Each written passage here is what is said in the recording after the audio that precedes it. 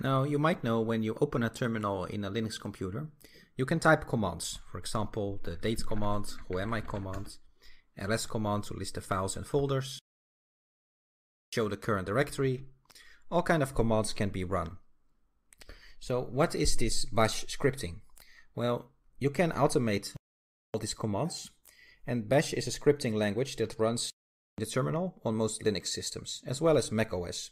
So usually or almost always you can run scripts on Linux as well as Mac OS. So what is this shell script? Well, basically it's a sequence of commands. So it can be a single command or multiple commands. So here we did several commands, the date command, whoami command, the list command, and the pwd command. So you might put all of those into program. So you would type the date command, whoami, list command, and the pwd command.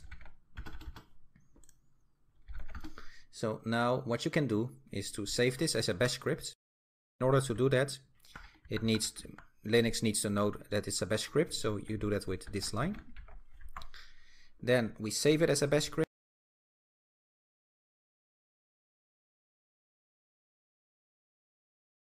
Close the terminal here, and what we'll do is we'll run this script. So first we need to make it runnable.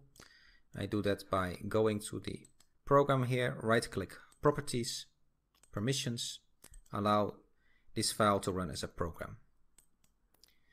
Then uh, I open the terminal again, and when I run it, you'll see it run the same commands, so date, whoami, ls, pwd, automatically, so one by one. Now, if, if in your graphical interface, in, if in your file explorer, you couldn't right click on the script and click properties and set the permission here, what you can do as alternative is type the command chmod plus x with your script name.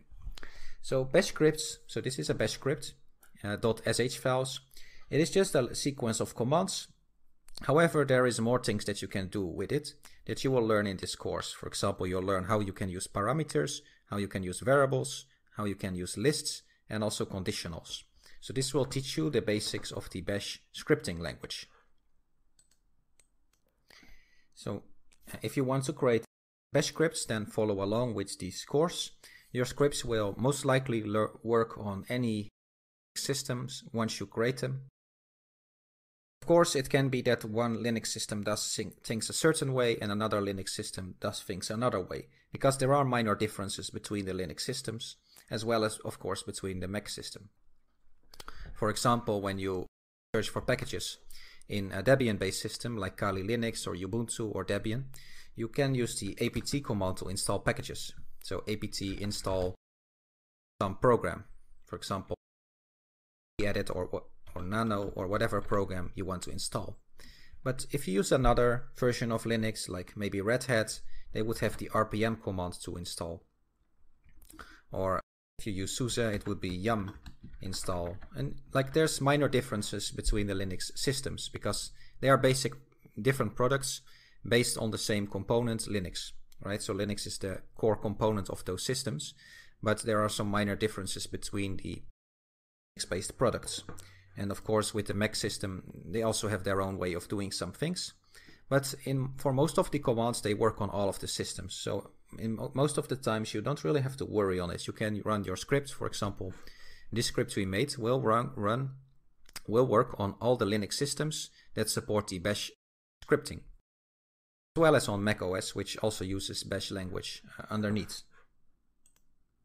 So this really is a beginner's course. If you are new to Bash scripting, then you can follow along. It doesn't go into any advanced just teaches you the absolute basics so that you can create your own bash scripts, automate your system yourself using those bash scripts. And it can also save you a lot of time because now we just used four commands, but there is no limit to the number of commands you can automate. So for example, it could be that you type hundreds of commands, and if you would need to do that again, it's very tedious work when you type in those hundreds of commands on the next computer and do it again on the next computer. So instead, what you could do is create a bash script that does those hundreds commands, and then you just run the run the bash script, right? So in this case, four commands, and we just run it when we want to run those four commands. So we just need to run one script, and it does those four commands. But it could be 100 commands, maybe installing and configuring some program or whatever you want the script to do.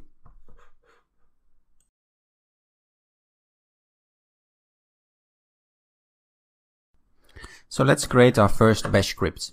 First open a text editor, so it could be a graphical editor or a terminal editor if you know how to use them.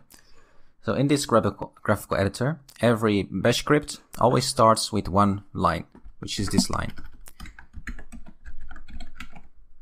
So that's always the beginning of a bash script. It's always the same. Let me enlarge the font.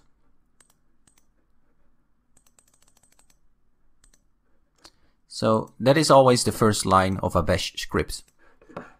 And this tells the terminal that you want to use bash in your program. And from there on, we can do, for example, bash or Linux commands like echo hello world. So that would be our first bash script, which will output hello world. So we save this as a .sh file, save as, and I'm gonna call it hello.sh, indicating bash or script. You'll see when we do that, we automatically have syntax highlighting in mousepad. Okay, so now we have this script. How can we start it? The way to start it is to in a terminal. So we open a terminal and then one thing we should do is to make this script executable. So if I open the file explorer, you'll see here hello.sh. If I right click on properties, permissions, you'll see it doesn't have the permission to run as a program. So we select it, close. So right click properties and we make the program runnable. You can also do that from the command line. So if we unselect in the graphical interface and type in the command line chmod plus x for executable hello.sh, the program will now be executable. So if I right click here again, properties, you'll see it has this flag turned on. So we did it with the terminal now, chmod plus x. So you can either do it with the graphical interface or with the command line. If you run chmod space plus x, you make the program, in this case hello.sh, executable. So to run it, we type dot slash hello.sh. And you'll see it outputs hello world. Now, it should be quite obvious why it does that, because the echo command, the Linux command that outputs text. So whatever text we put between the quotes will be outputted. For example, if we just remove the world here and save it, so file save, and run it again, you'll see now it just outputs hello. And you can run the echo command, of course, several times. So maybe you want to do something like this.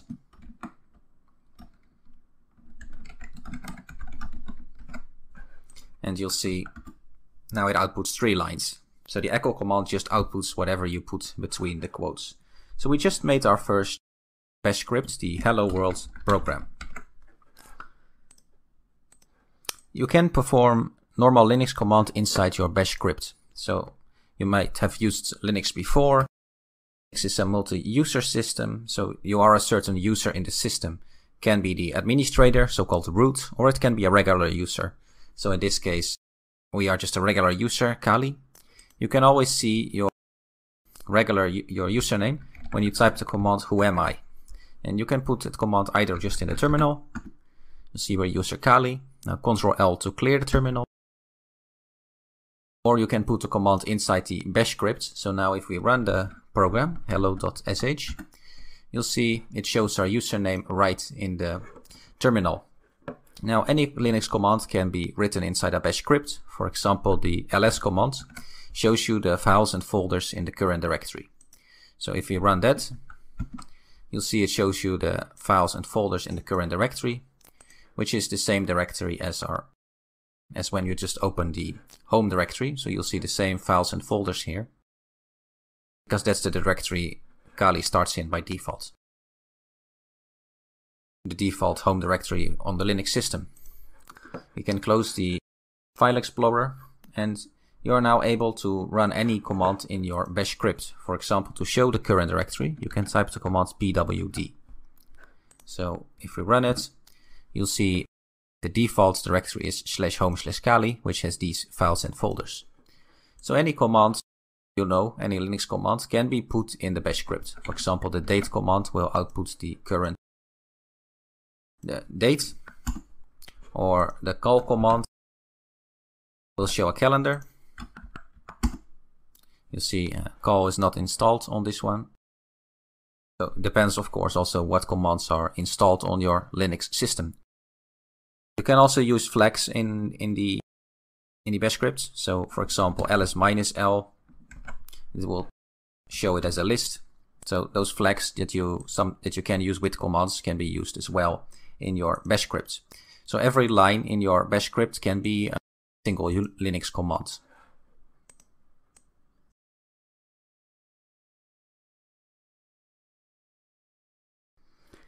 Now let's create a new script. So we open a text editor.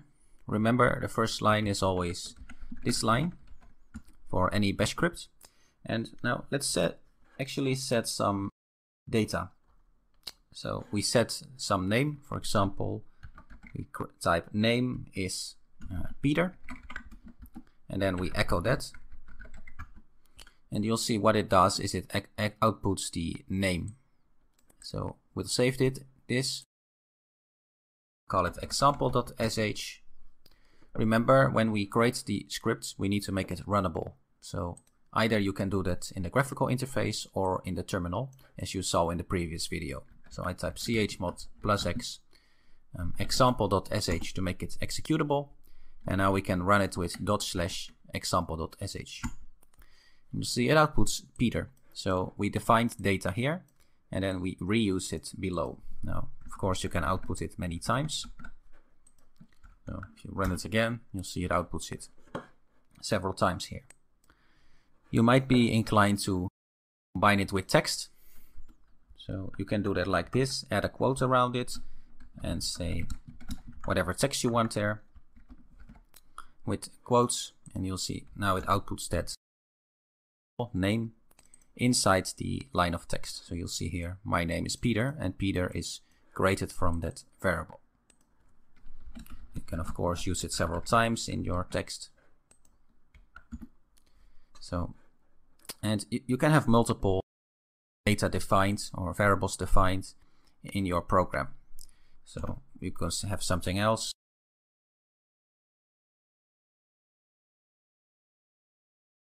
say now you use two type two data, two variables. So we use the variables name and job. And the variable is just a definition of data. So you'll see if we run it, you'll see now it doesn't output anything because hacker is not defined, right? The variable name is job. So make sure to use the names. So on the left you have the name of the variable and on the right you have the actual contents or the actual data. So if you run it, you see now it outputs those two variables. So it displays the text or the value you define. For example, it doesn't just have to be text. You can say age and then define a certain age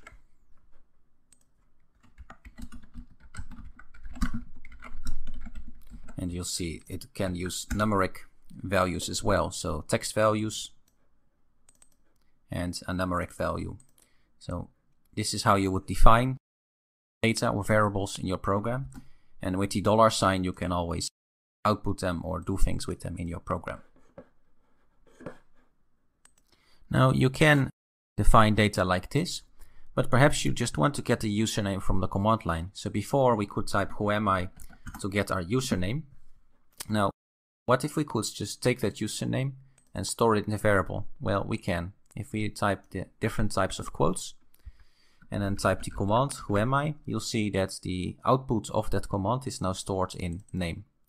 So if we run uh, example.sh, you'll see now uh, it outputs the username, or we can say username is with that name. So if I run it, you'll see how it stores the username inside the variable name.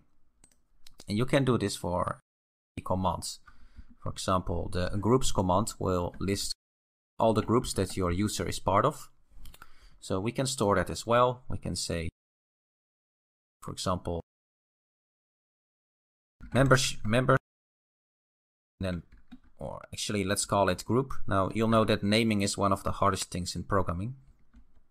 So I'll call it group and then we save groups. And let's output group then. And you see we can run it. Now it tells this error, unexpected end of file for matching.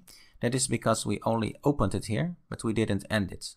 So make sure you always have two, begin and end of the characters. So run it and you'll see now it stores the or the output of the commands inside variables name and group. So if I wouldn't echo it, if I would remove this, save it, you'll see it doesn't show any output. It would just store the command output inside those variables and we can output it. Now, if you don't want to to show it, also you could just comment it out. So if you do this, then those commands will be ignored. And if we run it, you see it doesn't output anything, so we don't actually delete it from the code. Now it is ignored because it has the hash symbol in front. So that, that means that the bash script will just ignore it. It's so-called comment. Now comments can be like this, but it can also be text. So we can add some comment here, output the data or whatever comment, and bash will just ignore that. So whenever there's the hash symbol in front, all those lines get ignored. And, and it would just do the ones that are highlighted.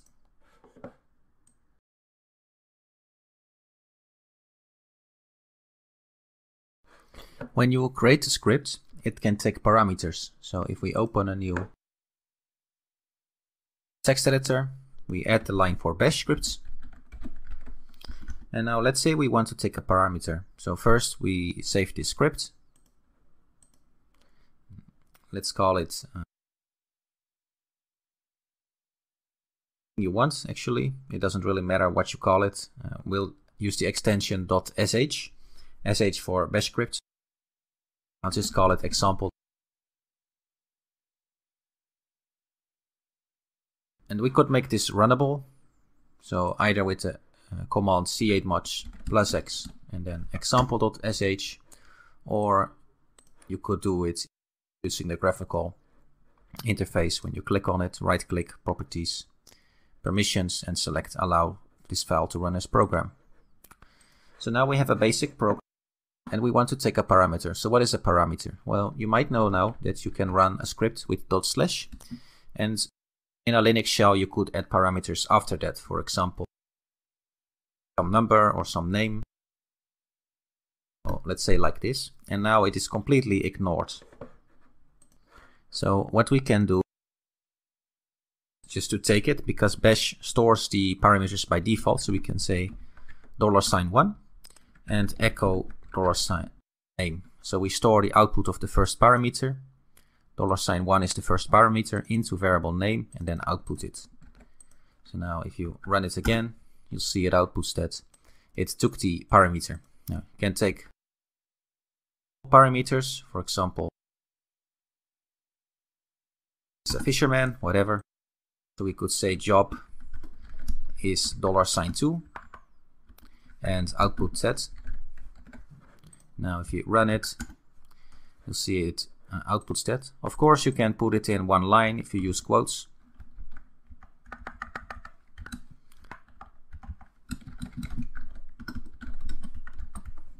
So like this, and then whatever you specify as the parameters, it will then be shown on the screen. So in this way it reads parameters which are specified after the shell script when you run it. And those are stored in dollar sign $1 and dollar sign 2. Now it might be that instead of parameters, you want to just ask the user for certain information. For example, you can ask or enter your name. So we echo that. And then we read that data. And then you can output it. So I'll put it like this. So the difference here is that now we can run it and it asks to enter your name and then tells it. So instead of a parameter, now the program is literally asking you to enter your name. Okay, so let's take a look at parameters again. We could access parameters with dollar sign $1 or dollar sign $2. When we run this script, you'll see it read those parameters. How we can get a number of parameters? Well, there's another variable which is simple, dollar sign hash, that shows you the number of parameters. So if you run this, you'll see it says there's two parameters, which is right. We have these two parameters. So if you would add another one, you'll see now there is three parameters. So the uh, symbol, the hash symbol or the dial symbol together with the dollar symbol will tell you the number of parameters. So the number of parameters. For example, this would be the first one. And this is the second. So if you run it, you'll see shows the first, second parameters and that there are three parameters. How would you get the file name? So it is possible to get the file name as well. And that is simply dollar sign zero. That shows you the file name of your program. So if you run it, you'll see it shows the file name of your bash script. So, and now we specify here three parameters. So number of parameters three, but we only see two. So why is that? Well, we just don't output the third one. So we can say third and dollar sign three. If we run it, you see now it outputs all three parameters. So Bob Hacker and Linux is now output in the terminal as well as the file name because the output dollar sign zero, which is equivalent to the file name.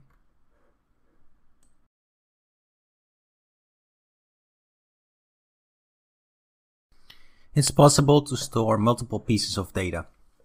So that sometimes they call it a list, sometimes they call it an array.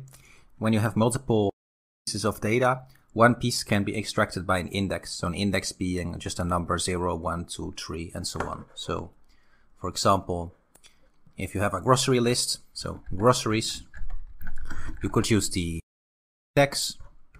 Zero would be the first item in the grocery list, one the second, two the third, three the fourth, and so on. So for example, you could have items like this. Let's create a grocery list.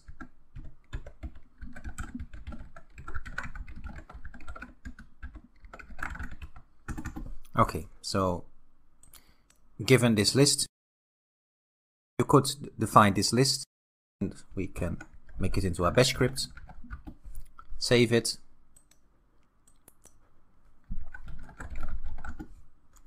and we need to make it executable. So I can do that with the GUI or with the terminal. I will do it with the terminal.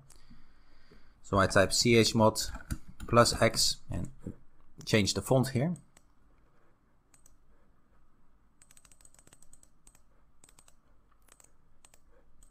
With our script name, so example.sh, that command will make the script executable. And we can run it and you'll see uh, no any output. Right, so the first item, milk, would be index 0. If we want to use the second item, we index 1. Third item, index 2 index 3, and so on. Now, you can also find arrays in a different way with these kind of brackets. And that allows you to leave out the, comma, the commas. So you can take out the commas. So this is a nicer way to define because you don't need to type the commas, so it saves you just a little bit of time. And now we could output the item using the index. So like this, then 0 would be the first item in the list. Computers count from 0. So if we run it, you'll see it outputs milk. If we would change it to 3, what would be the output? So let's try. We change it to 3 and you'll see it outputs water. So 3 is the last item because it starts counting from 0. So 0, 1, if you do any number larger than this or less than zero, of course it won't give you any significant output. So the index should be should exist. So anywhere between zero and the end of the list or the end of the array. So sometimes they call this arrays, sometimes they call this lists, but it's the same thing. It's a collection of data. So multiple pieces of data into one variable. In this case, the variable G for groceries. Now it can be you want to output the whole list instead of just a single item. In that case, you can type the asterisk and then if you run it, you'll see it outputs all of the elements of the list. So all of the elements is now output. You can also remove an element from the list using the unset command. Now we'll do that before showing the list or you can also do it after and then show it again. So let's say we remove an item, we type unset with the index. So let's say we remove the last item.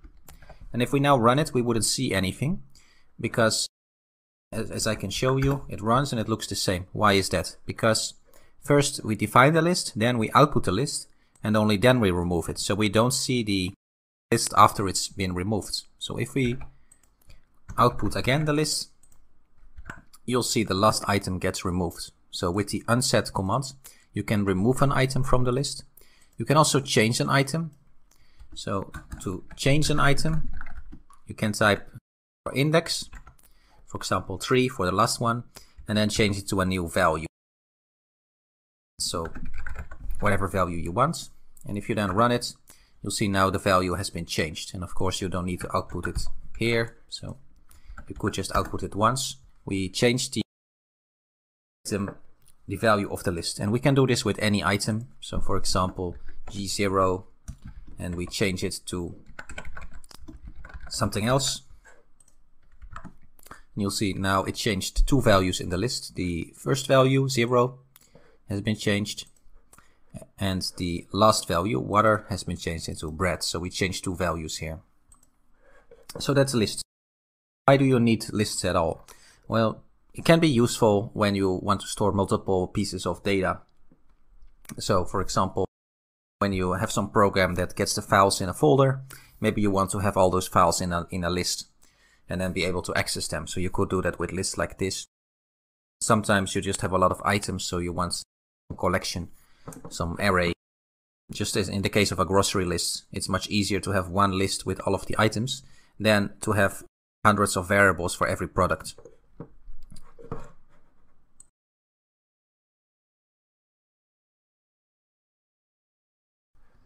Programs don't always do the same thing. It depends on for example, do you run the program as the administrator, as root? If you run the program as administrator router, okay, maybe that's okay. But maybe if you run it as regular user, you don't have the right permissions, so you want the program to tell run it as root. Or it could be something totally different, like maybe you have a program that wants a file and it needs to be of a certain type. So maybe if it's an image file, it should download. If it's something else, it should not download. So depending situation depending the inputs. So in bash scripting, you can can do such a comparison. So if something compares to something, then do something. If not, then do something else. So a more practical example. Let's say we have a variable user, which we get from the command who am I. Then we can check if the user is root so root is the administrator in Linux.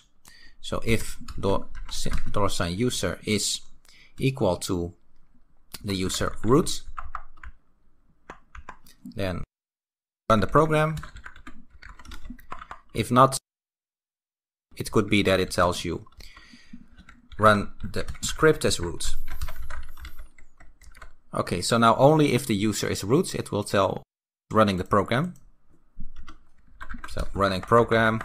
Of course, there can be multiple lines of code here or commands. Let's say it runs the date command or whatever. So now if we run the program, you'll see run the script as root or perhaps more explicit, please run the script as root. So it skipped these two commands completely. Why? Because the output of the user of user is not root.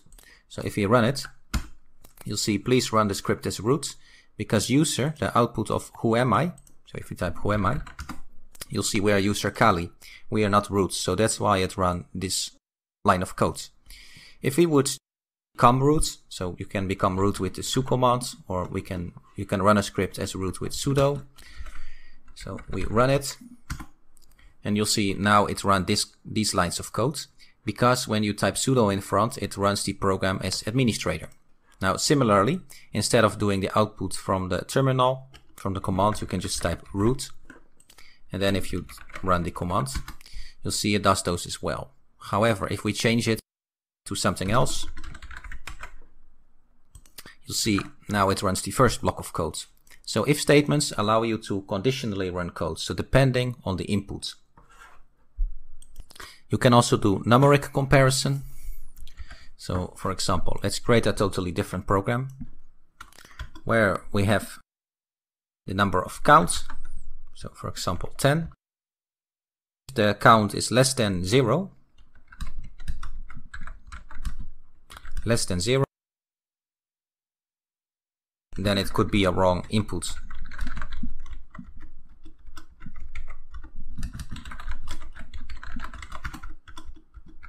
Okay, so now depending on the variable count, uh, either it shows wrong input or it shows counting. So if we run it, you'll see now it shows counting because uh, it's 10. If we do minus 1, you'll see it says wrong input. So you can make sure using if statements that inputs are correct. So you can imagine when you type an IP address, when you type some number, in this case the number of, of repetition, the number of counts, it should be at least zero or at least one. So for example, at least one. So if it's less than zero, it's wrong input. So now if we would type zero, is wrong input. Maybe you also want a maximum. So it should, instead of less than, it should can also be that it must be greater than something. For example, greater than 1. So in this case it says counting, and if the number is greater than 1, for example number five, 4, you'll see wrong input. So you can specify specific conditions. So T stands for greater than, T stands for less than, you can check for equality with minus EQ. EQ checks for equality between the variable count and in this case 1. So you can do different comparison and depending on the uh, input, it can either run one code or another code, which happens a lot, so-called if statements.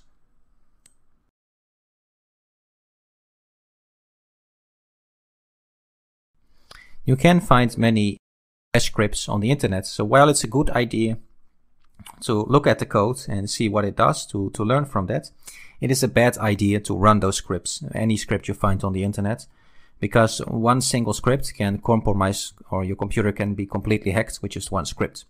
So for example, on the right we have a user that downloaded a script from the internet.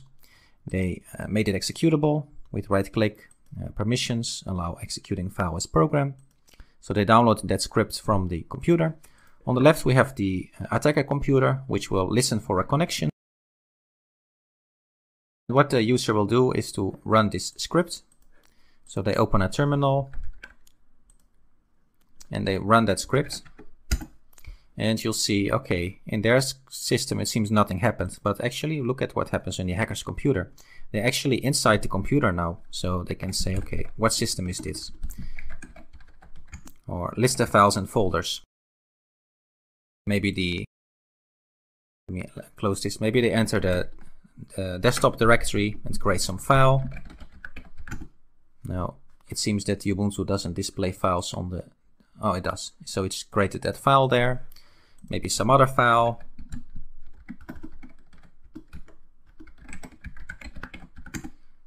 So you'll see, that's all it took running one script to, to the attacker could take over their computer. So in general, it's a bad idea to run scripts from the internet for that reason.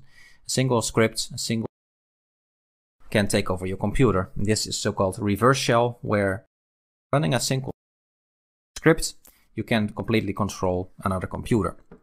Now I have a course on reverse shells if you're interested in that, where you learn how you can take over computers. just using reverse shells, so using bash scripts and also other techniques that allow you to control uh, someone's computer. So don't download random scripts from the internet and you'll see if they try to close it with Control C or Control Z, they can't even close it. They really have to close the terminal window. But even then, uh, the hacker is still inside the system. So he can still, for example, delete a file.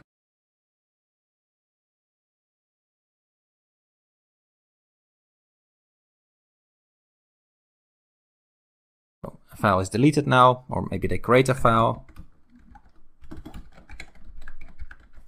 Or whatever they do on their system, right?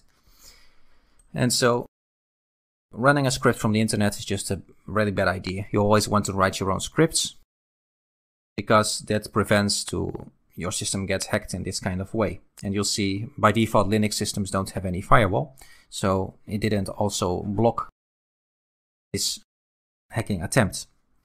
Right, so they could just take over the system and all they had to do was run the script. Now there are some firewalls on Linux like Portmaster and some others but just as a general idea, don't run scripts from the internet. Always write your own bash scripts because there might be some malicious scripts in there where they get access to your system.